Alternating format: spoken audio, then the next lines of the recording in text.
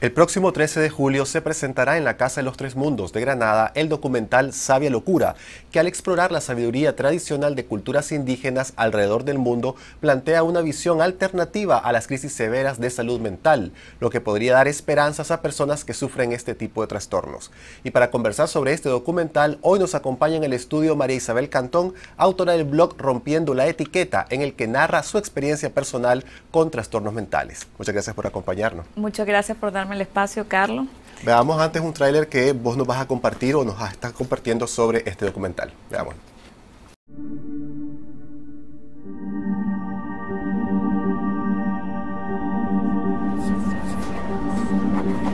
I experience screaming voices. People don't believe how insane I am. And it was it was terrifying. Totally manic or totally depressed. And it was, you know, it wasn't him. The Adam we knew. I just wanted a car to hit me or a truck or just something to take me out because this time I wanted to, to really work. I really felt like I needed to end my life. I felt like I was this complete failure. So I was in really bad, bad shape, and the mental health system only made that worse. It's a mythology to think that there's the normal and then there's the abnormal. The average recovery rate in the Western world, with all our sophisticated diagnoses and medications and highly paid experts, is about one third. The recovery rate in the developing world is about two thirds. Where does somebody who's in this delicate state, you know, they're in a process. They're sent to prison, they're sent to jail, they're sent to a psychiatric ward, or they're chemically incarcerated, or they're homeless. In the United States, we've come to believe in the chemical imbalance theory of mental disorder. These medicines are very, very powerful in helping, but they can be very powerful in harming.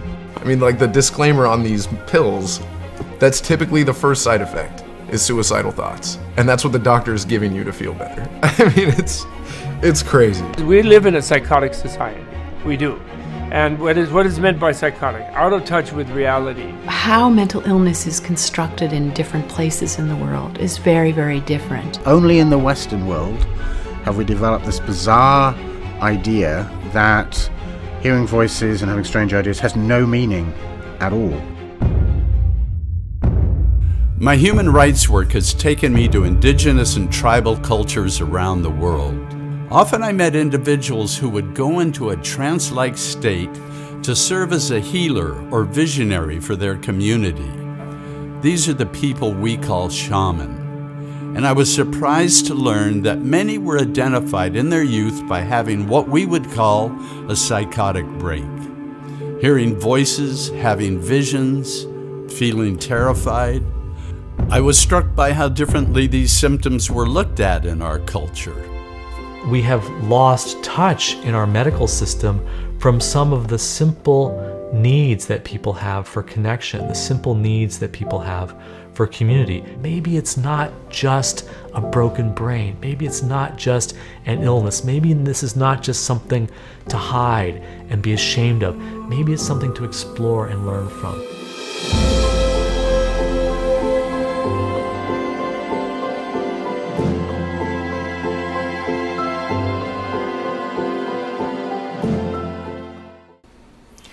Este documental, eh, María Isabel, plantea esta visión alternativa sobre estos problemas severos de salud mental. ¿Cuál es tu objetivo al traerlo a Nicaragua y presentarlo en espacios públicos?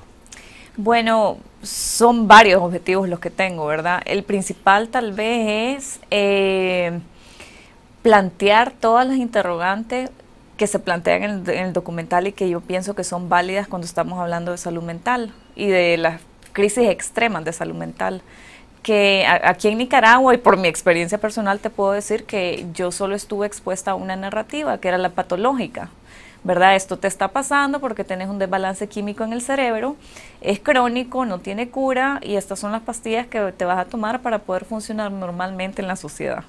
Eh, pero bueno, yo pues por diferentes razones, una, una o la principal siendo que tuve mucho apoyo, pude eh, comenzar a explorar un poco más la experiencia en sí, todas las cosas que habían emergido a mi conciencia y no quedarme con la narrativa de la, de la, patología porque en realidad yo no me sentía enferma, me sentía en un momento de balance y una crisis que no era solamente mental, sentía que era una crisis emocional, eh, una crisis espiritual hasta cierto punto, sin entrar en religión, eh, que tenía un valor, ¿verdad? Y que tenía que explorar y hasta y después de tres años, pues por tener recursos económicos y recursos emocionales, he podido eh, integrar y sacar muchas lecciones.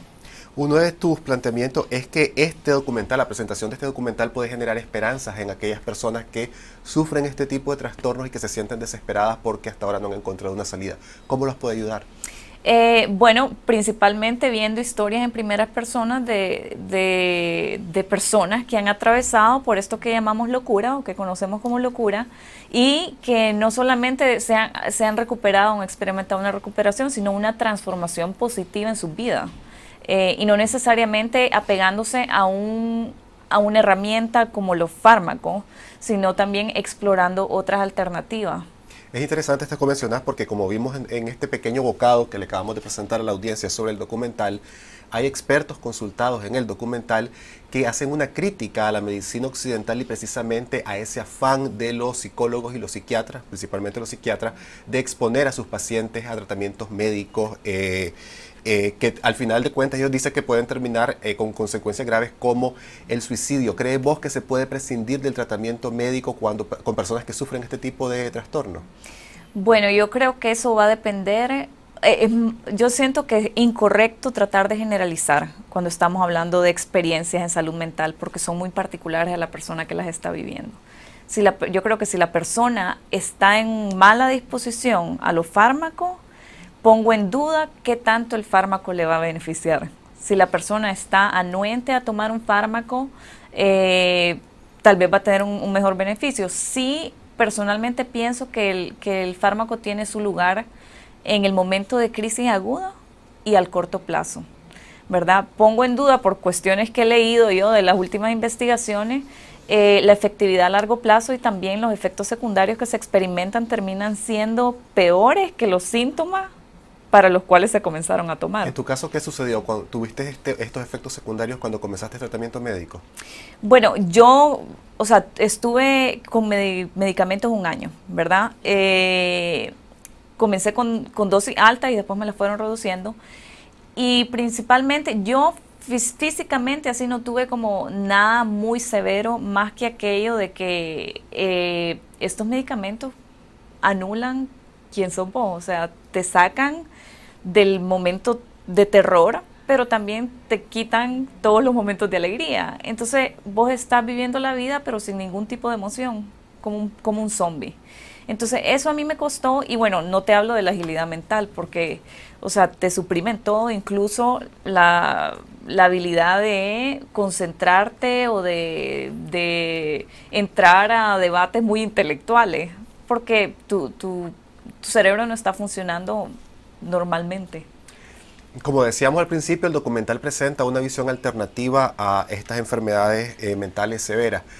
¿Qué otras alternativas tendrían los pacientes que sufren este tipo de trastornos, principalmente en Nicaragua, donde esto se debería ver como un problema de salud pública, pero hay una percepción de que no hay la suficiente preocupación de las autoridades de salud de cara a estas enfermedades?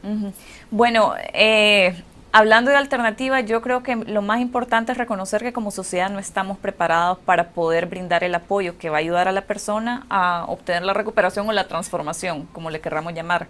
Eh, no estamos preparados, o sea, no hay protocolos en los hospitales para crisis de sufrimiento psíquico o angustia emocional. Eh, estaba hablando la semana pasada con un muchacho que me contaba que en un hospital privado lo amarraron cuando no estaba presentando peligro para sí mismo, para nadie más, pero lo amarraron. Entonces, eh, estamos yendo a los hospitales donde se supone que vamos a sanar o a obtener el balance, más bien a retraumatizarnos. Eh, y bueno, no te menciono el hospital psicosocial, yo no me puedo imaginar quién se va a ir a sanar allá.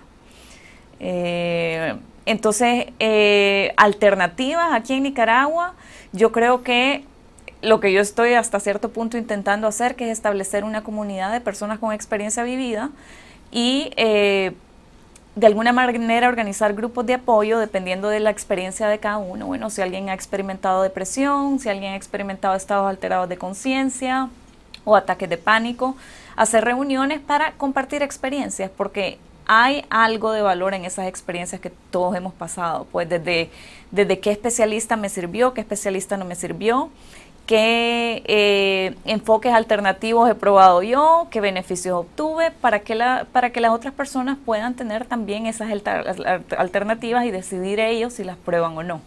Es interesante eh, del hecho de que no haya eh, como un protocolo conocido general en Nicaragua de parte de las salud pública sobre estos casos, principalmente un país que ha venido de guerra y que sigue sufriendo traumas de guerra.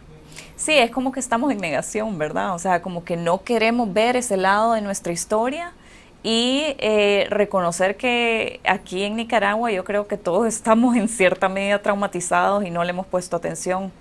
Eh, y en los hospitales, yo no sé si es por, por ignorancia o porque la gente no habla, porque nosotros no hablamos y no se discute en espacios así abiertos que no, no se le está poniendo atención, pues, pero es importante porque el hospital o el psiquiatra o los enfermeros de emergencia son el primer contacto.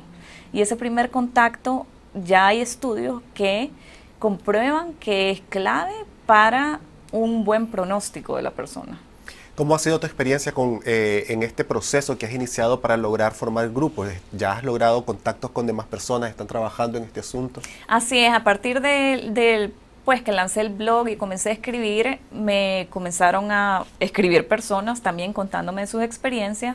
Y recientemente, hace, ah, hace un par de semanas, eh, se integró una otra mujer a compartir sus experiencias con eh, angustia emocional extrema. Y eh, el lunes un muchacho comenzó también a, a compartir su experiencia y yo Espero que las personas que han pasado por este tipo de situaciones sientan que rompiendo la etiqueta.com es una plataforma donde ellos puedan expresar, pueden leer, pueden obtener recursos y, acceder a información que sería muy difícil encontrar así sin, hablar específicamente de eh, crisis emocionales en salud mental.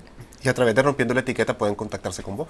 Ah, sí, perfecto. Eh, no, no, no solamente quiero que sientan eh, la libertad de colaborar con el blog, sino también hablar de humano a humano ¿ya? y de compartir nuestras, nuestros sufrimientos, nuestras lecciones y, ver que eh, ver cómo darnos la empatía que es difícil obtener de una persona que no ha pasado por esto. Sabia Locura entonces se eh, va a exponer en la Casa de los Tres Mundos, pero también en Managua. Así es, en la Casa de los Tres Mundos el 13 de julio a las 7 pm, la entrada es libre. Y en Managua, en el Centro Cultural Nicaragüense Norteamericano, el 26 de julio a las 6 y 30 pm también la entrada es libre. Bueno, la invitación está hecha para la audiencia, ojalá que la gente pueda acudir, pero además también ponerse en contacto con tu blog, Rompiendo la Etiqueta, y yo creo que a través de las redes sociales también pueden hablar con vos. Así es, eh, Rompiendo la Etiqueta tiene su página de Facebook y también está, pues, yo estoy en Facebook también y en Twitter, y bueno, siempre disponible a eh, oír y prestar mi presencia para las personas que estén experimentando dificultades emocionales y también compartirle un poco más de detalles de, mi propia experiencia. Perfecto, muchas gracias Marisabel por acompañarnos. Gracias, Carlos. Gracias por ver este video. Síganos en Facebook y Twitter a lo largo de la semana y los invitamos a suscribirse a este canal para recibir todos los reportajes y entrevistas de esta semana, esta noche y confidencial.